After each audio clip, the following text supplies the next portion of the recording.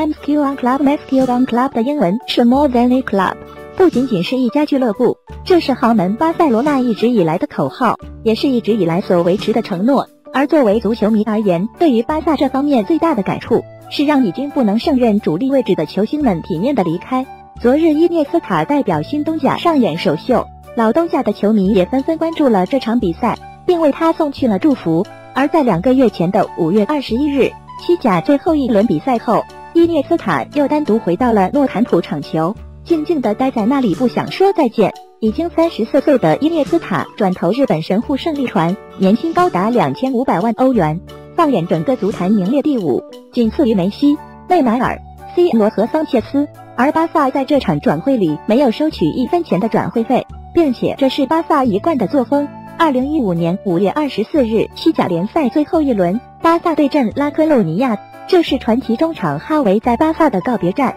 在比赛开始之前，看台上的球迷用巨幅画像送别这位队长，连穆里尼奥也说过，顶级球员必须在顶级俱乐部挂靴。巴萨在十三年时便与三十三岁的哈维签了一份三年半的合约，目的其实很明显。然而哈维不忍退居二线，加上其父亲的公司债务越来越多。不得已，只得远走他乡。最终，哈维与塔塔尔阿尔萨德签订了一份为期三年的合同，合同期至二零一八年夏天，年薪高达一千万欧元。我们需要注意的是，那一年的哈维三十五岁，在巴萨的年薪为九百万，没有转会费。如果说哈维和伊涅斯塔作为青训营的产物，自家的孩子理应多一些感情的话，那么巴萨对待外人又是如何？葫芦娃比利亚，二零一零年从瓦伦西亚以四千万欧的转会费加盟巴萨，如愿以偿的夺得了欧冠，成功踏入足坛大满贯俱乐部。由于伤病，比利亚慢慢淡出了巴萨的第一阵营。比利亚在三年后选择了加盟马德里竞技，